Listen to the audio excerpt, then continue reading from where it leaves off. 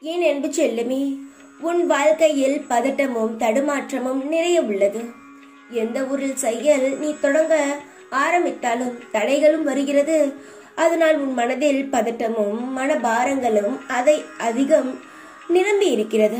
பாதையில் த- தடைகள் இருந்தால் அதை அதை தகர்த்து விட்டுதான் செல்ல வேண்டும் என்று அவசியமில்லை. தவிர்த்து விட்டு கூட செல்லலாம் எறும்பை போல. எல்லாரும் எது சொல்கிறார்கள் என்று அதன்படி நீ நடக்காமல் உன் வாழ்க்கைக்கு என்ன பிடிக்குமோ என்ன சரியாக வருமோ அதன்படி செய்தால் உன் வாழ்க்கையில் எந்த ஒரு தடைகளும் தடுமாற்றங்களும் வராது. மற்றவருடைய கருத்துக்களை நீ எடுத்துக்கொண்டு உன் வாழ்க்கையை நடத்துகிறாய். அதுபடி இல்லாமல் உன் வாழ்க்கைக்கு எது சரியாகும் என்று உனக்கு தெரியும். அதன்படி நீ நடந்தாலே உன் வாழ்க்கையில் நீ எந்த லட்சியத்தை அடைய ஆசைப்படுகிறாயோ அதை நீ எளிதில் அடைந்து விடலாம். மற்றவர்கள் பேச்சை கேட்பதினால்தான் உனக்கு தடைகள் தடுமாற்றங்கள் மனக்குழப்பங்கள் எல்லாம் வருகிறது. குழம்ப வேண்டாம் தடுமாற வேண்டாம். தடைகளை உடைத்து எறிய வேண்டியது என்னுடைய கடமை. ஆனால் தடுமாறுவதும் குழம்பி தவிப்பதும் உன்னுடைய தவறு. மெல்ல மெல்ல உன் துன்பங்கள் முடிவுக்கு வரும்.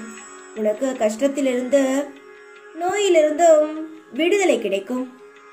தெய்வம்தான் இருக்கே என்று அந்த தெய்வத்தையே நாம் குறை கூறிக்கொண்டு இருக்கக்கூடாது. தெய்வத்தின் மீது நம்பிக்கை இருக்கும் பட்சத்தில் தெய்வத்தின் மீது உங்களுடைய கவலையை எல்லாம் போட்டுவிட்டு அமைதியாக இருப்பதே உங்கள் வாழ்க்கைக்கு சிறந்ததாகும்.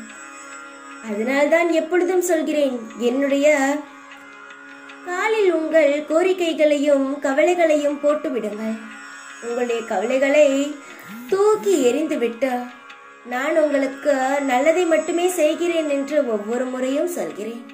ஆனால் எப்பொழுதும் கவலையுடனே என்னிடம் வருங்க. கவலை இல்லாமல் இருங்கள். எல்லாம் மாறும் என்ற மன நம்பிக்கையும் உறுதியுடன் உங்கள் வேலையை தொடங்குங்கள் எல்லாம் மாறும். தைரியமாக இருங்கள். உங்கள் கூடவே இருப்பேன் நான் எப்பொழுதும்.